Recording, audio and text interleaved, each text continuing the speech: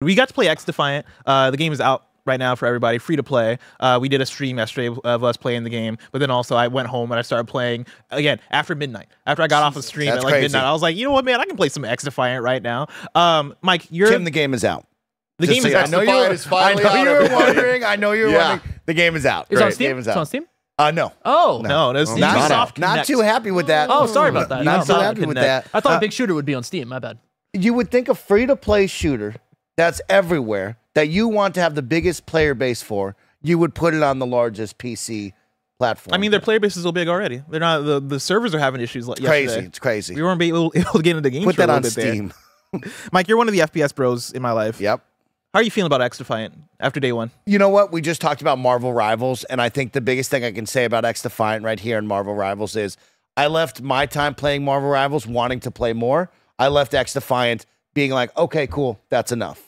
Right? Like, there's no desire for me to turn this game back on anytime soon. Uh, if it's to play with Bless or an Andy or some of the Jabroni boys in my life, I'll probably play it for a night. But like, honestly and truly, I had my fill, and there's no desire to go back to this at this time for me. But I am excited to talk about it because there is some positives I do want to highlight, right? I think me saying that I don't want to deter people because there's some cool stuff in this, but there's some negatives where I'm like, eh, this, they you didn't hit the mark, Ubisoft. Mm-hmm. So let's talk about it, Bless. What did you like? What did you not like? I mean, I I I liked it. I had a fun time. It's hard for me to pinpoint why it's doing it for me though, right? And I think maybe part of it is that it is it feels like it's almost throwing back to an older FPS type game. You know, like it feels almost like an early PS4, late PS3 type of first person shooter in a way of how like how simple it is. I pick up the recent Call of Duties and I am like, man, the fidelity is here. Like, like, man, like this is a fucking like I'm playing a movie right now with how good these games look and sound. XDefiant, it feels just way simpler in a way that kind of just brings me back. It feels like I am playing a, a free to play first person shooter in that way, and I think that's that's not going to be to its benefit. I think in the overall case of things, right? I don't know how I can recommend XDefiant over other shooters aside from the fact of like, yo, if you're just in the mood to play a, a first person shooter and you're like you don't know what to play. I think XDefiant does get the job done. I think the modes are fun. I think the the gunplay is fun. Like that's the thing is I go through all the all the um the checkpoints here and I'm like, yeah, gameplay, fun, character like character classes. All right, cool. You got all the stuff that you expect. I think there's a bit of uh, flair there with the crossover aspect of it, and you have b- bringing in these different Ubisoft games. I also think there's potential there. How big is the potential? Because you're working with just the Ubisoft library of games. I don't know, right? It's- Rayman. it is the opposite of where we talk about Marvel Rivals, where I can see I can see a five year plan for Marvel Rivals. Whereas for XDefiant, I'm like, all right, you could add, I guess, another Rainbow Six. Prince of, Prince of Persia, I you could guess. add maybe yeah. a Prince of maybe Assassin's Creed class here Oh, and yeah, there. that's true. like That's the big but next at a certain point, it's is that bringing people in? Is that like you know it- when when you get six months down the line and the audience is starting to, to dissipate a little bit? Is that going to be the big revival that the game needs? Who knows? You know, maybe that could be in the gameplay as well. Maybe you could add more modes. Maybe you could add more maps. Maybe you could add more stuff like that, more different types of guns and, and stuff. But yeah, like I'm not excited about XDefiant as a live service FPS game that I'm gonna play for the rest of the year. But I am excited about it just in like the meantime, right? For like the right now, where I talked to you, Mike, as we were playing yesterday. Of man, I'm kind of in the mood for first person, the competitive first person shooters right now, and it was getting the job done, right? Mm-hmm. That's kind of where I'm coming coming out with it. Do you think that that is getting the job done for you because you're not necessarily like a Call of Duty person? You know what I mean? Like you don't mm-hmm. you don't necessarily come in with the call. Is this like the first sure. time that you've like hopped in a FPS in a while? Yes, yeah, Yeah. I think I, t- I kind of took a break there. Like when Halo Infinite came out, I was I was super big into Halo Infinite for maybe two months, and then before that, like I had my uh, big moments of playing Overwatch. I had moments of playing Rainbow Six Siege as well. Um, it has been a while for me, yeah. So I think pick, picking this up. It is it is bringing me back where I'm like, oh yeah, this is this feels fresh. This feels like I, I it's a fun way to get back into this kind of game where I don't feel I feel like Call of Duty is just too hardcore for me right now. Yeah. I it, it's tough for me to jump into Warzone. I am not in a battle royale mood. I guess that's another big thing is I'm just not in a battle royale mood. And so this being the focus on the you know arena modes, uh, you know capture that uh, type of style of gameplay. I think that is a big part of what's bringing me in as well. Yeah, we. I think Sancho West said it so well with us yesterday when we were playing it. It's like that double A first person shooter, right? You have that Call of Duty, and Chat can help me. There was a couple years ago when we had a Medal of Honor or like one of those games that came back and was like, we're gonna try to compete with Call of Duty. And it's like, ah, you're just you're kind of double. You're double A, and it doesn't feel quite right, you know. And so my positives and negatives here is like, yeah, this is a team arena shooter, right? And it has hero classes almost, but a lot of them to me didn't feel like they mattered. I think mm. we're going to find the two character classes that mean the most, and that's what people are going to do. And I think that is the one with the healing, and there's another one that goes invisible. But I, I find a lot of the other ones, their abilities, their ultimates just didn't really hit or matter during the moment to moment gameplay. And I, I worry that we're just going to kind of lose sight of, hey, we got these cool factions and we're making characters inside of each faction that you know from Ubisoft. And we want you to play as them as opposed to like, hey, we're just going to play as these two characters all the time. This episode is brought to you by BetterHelp. We all carry around different stressors, big and small. I'm currently planning a wedding, so I know all about that. But when we keep them bottled up, it can start to affect us negatively. Therapy helps you find your strengths so you can ditch the extreme resolutions and make changes that really stick. You can get out of your negative thought cycles and find some mental and emotional peace, and it can give you the tools to find more balance in your life so you can keep supporting others without leaving yourself behind. Some of my best friends use BetterHelp and love how helpful it can be for learning learning positive coping skills and how to set boundaries. It empowers you to be the best version of yourself, and it isn't just for those who've experienced major trauma. If you're thinking of starting therapy, give BetterHelp a try. It's entirely online, designed to be convenient, flexible, and suited to your schedule. Just fill out a brief questionnaire to get matched with a licensed therapist and switch therapist at any time for no additional charge. Celebrate the progress you've already made. Visit betterhelp.com slash kinda funny today to get 10% off your first month. That's betterhelp, H-E-L-P dot com slash kinda funny. On the positive sides, I really liked the maps. I think it is cool, just like we brought up with Marvel Rivals of like jumping into maps that like have that feel of the division, have that feel of Splinter Cell. You're like, oh man, this this is like a Far Cry world that I could definitely see. And so the maps are a big positive. Again, the factions are cool and all, but I just don't vibe with that.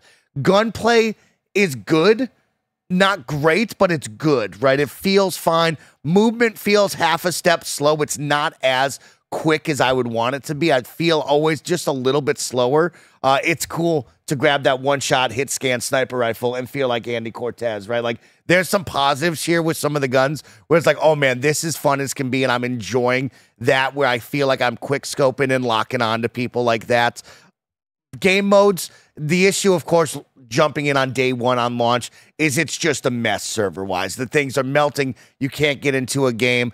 We were able to invite people pretty quickly, and then we locked in with like domination. Like I said, there's an escort here where you can play that. There's a new mode called Hot Shot, which we didn't get to try, but I am interested in seeing that. But yeah, this one just left me wanting a little more, but I think that's the issue when you step into the team arena shooter is you already have the Call of Duties and the Halos mm-hmm. running that, and it's tough to stand out. When we talk about the hero-based team arena shooter like Overwatch, they kind of made their own area and made it their own. And so that's why Marvel Rivals calls to me a little bit more when I have Call of Duty at home right now that is firing on all cylinders and I'm leveling up guns that then play into a different video game, which is Call yeah. of Duty Warzone. And that's kind of where you spend your life and time. I think this game has the potential if a bunch of streamers get on it, if they're able to make the right moves moving forward with seasons and content. But that's a lot to ask you, when we've seen this happen before. Do you think we get to that place with it down the line where it is exciting you and exciting the world in terms of what it's able to build up to? Because we talk about uh, Ubisoft recently having the games that it feels like they put out and then they, they abandoned, yeah. right? Things like Hyperscape, things like Roller Champions and other games, things like uh, Rainbow Six Extraction, which I keep forgetting came out we played it. yeah, yeah. Um, but it feels like they'll put out these games that are meant to be these live services things, but then they'll move on from it. Recently, there's the news that they canceled Division Heartland and I think like another game as well uh, because they wanted to focus on, uh, or no, I think it was just Division Heartland because they wanted to focus on this and maybe another game. Um, but with that, right, it seems like there's a dedication there and they've been working on this for a while. I remember playing a version of this game like in 2021 or yeah, something same. like that. And then last year there was like another uh, beta that they did, and now we're finally here where the game is out for everybody free to play. There's a dedication here that feels like Ubisoft wants to support him more so than they have uh, um, some of their other recent ventures. Yeah, I feel like they're they have they're at the right moment right now, and they have the opportunity for sure. Like, don't get me wrong. This if you jump into this, you're probably going to have a good time. The question will be, will you return week after week, you know, day after day? Like we're all trying to fight for your time, and that's a tough thing to do. You're at a good moment right now in the middle of summer where Ubisoft Forward, the big E3 world, like Great time to promote this game, maybe show off some new content to get everybody involved because we know the big dog Call of Duty is looming right around the corner. So if I was in this office, I'd be saying, how do we capture this audience right now for the next six months and really drive this home as something you got to play? My worry is, is like, we've seen this team before with this company. It just doesn't seem like they have it fully figured out when it comes to these live service games. I mean, they set the world ablaze with Hyperscape, and mm-hmm. it just fell off the I face define of the planet blaze. everybody and their mother wanted to play Hyperscape. They found a battle royale that brought something new and different to the table with the speed and the quick reactions. And I think they had that. They mm-hmm. captured that moment, which very rarely games nowadays do, where it's like, oh my God, everybody's talking about this and wants to play this. And then it just kind of fell off the cliff. And I don't know if that was the longevity of the game, of we didn't have the vision. I don't know if it was just the skill of it all, of that game required a whole lot of like FPS movement that not many people have in their mm-hmm. arsenal, right? But it. I was something unique and different that Ubisoft hasn't had in quite some time. I think the lead up to. Hyperscape had that, but I feel like a week after Hyperscape came out, I couldn't find people that were playing it and talking about it in that way. That said, though, like I think Rainbow Six Siege is the example of Ubisoft sticking with a FPS live service type game That's true. and really fucking nailing nailing it. Right? It launched. It had like a fine launch or whatever, but it wasn't like it didn't. You didn't catch the world on fire or whatever. But then years later, we're talking about Rainbow Six Siege as being one of the mainstays, one of the things that everybody's talking about. I imagine they're looking for another one of those, and I don't. I don't think Xify is going to be another Rainbow Six Siege, but I wonder if they look at that, if they can look at that as the model. Hey, hmm. we nailed it here. Let's stick with it. Let's continue to actually make content for it and make exciting content for it. And if any Ubisoft live service thing has the setup to have a pretty good one of those, it is the thing that's the crossover game where you're going to have all these different featured IP in there. This should be the one that they treat in that way. I think the question is, will they?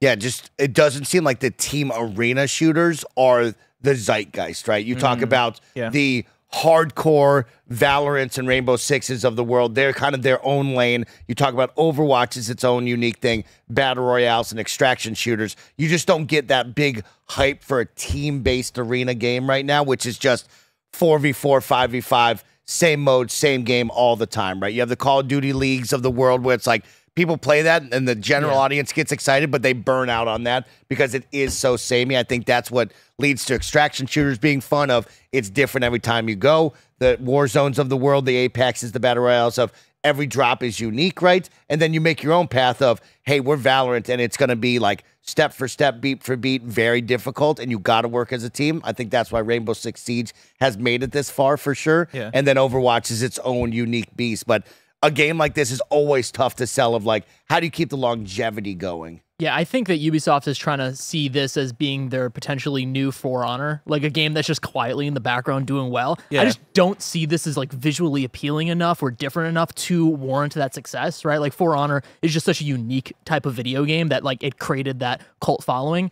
I just I See, at that's the from same way I see it, looking at too. it, like I just don't see that. here. Uh, because I, see it being yeah like that for honor or even a brawlhalla Yeah. where Sure, from yeah. like the outside looking in you're like who's playing the that thing, but like, then there's like a small fan base Bra- that's really on it. Is like a unique situation, right? There's not really that many, you know, Smash Brothers clones that are free to play, right? And like Mm-hmm. For Honor's For Honor. Here it's like, oh, we have like a dime a dozen. There's a million of these types Yeah. of games, right? So it's like I, I I understand what they're trying to go for, but like looking at them, like I don't think this is gonna succeed.